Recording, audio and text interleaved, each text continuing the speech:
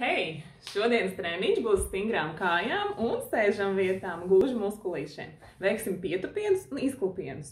Pagaidām vieglā versijā, bet šodien jau simts kopā. Aiziet!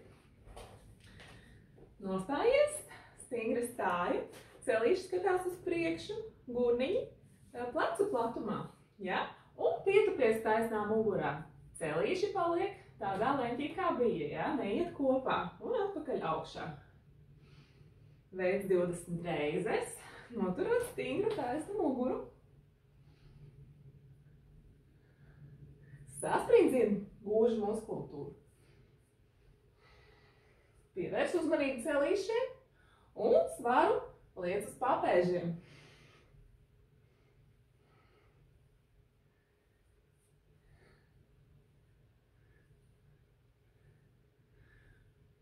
Huh, elpo brīvi.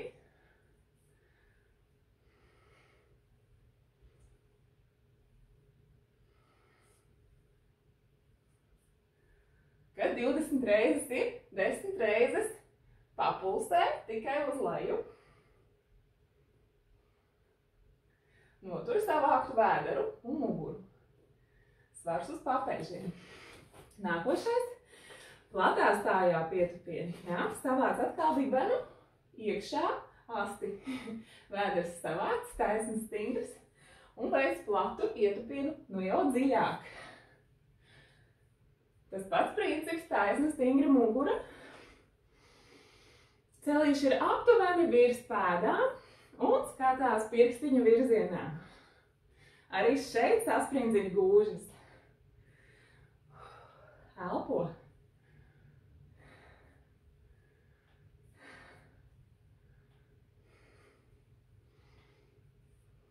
Vēl turpini 20 reizes.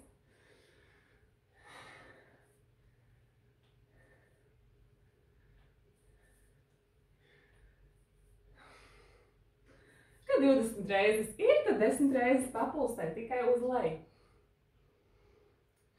Noturot visu stingru savākt.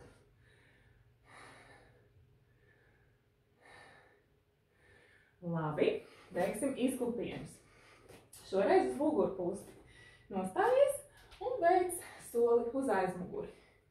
Izklupienā leņķītes celim ir taisnas un aizmugurējais tuvinās zemē. Maini, kura kāja iet uz atpakaļ. Kopā 20 reizes. Muguriņa taisna, vēdriņš savākts.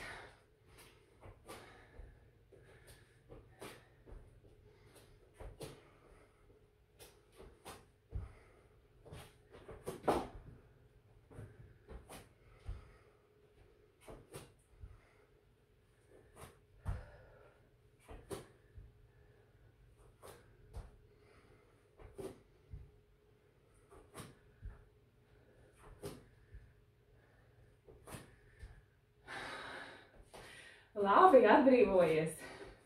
Un nobeigsim ar izklupienu sānis. Veic izklupienu uz vienu celīti.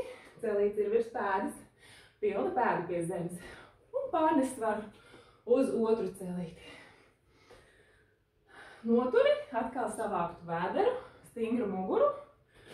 Un pagaidām atvieglotā versijā iesēžamies uz vienu celīti atpakaļ augšā.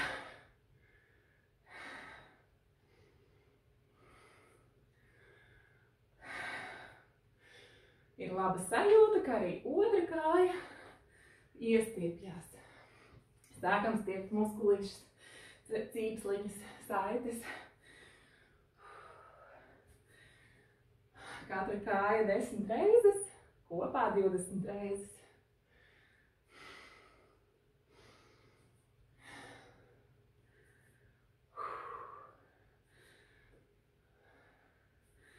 Lūk tā, pavingrojām ar kājām. Ceru, ka tev patika. Tiekamies atkal jau rīt.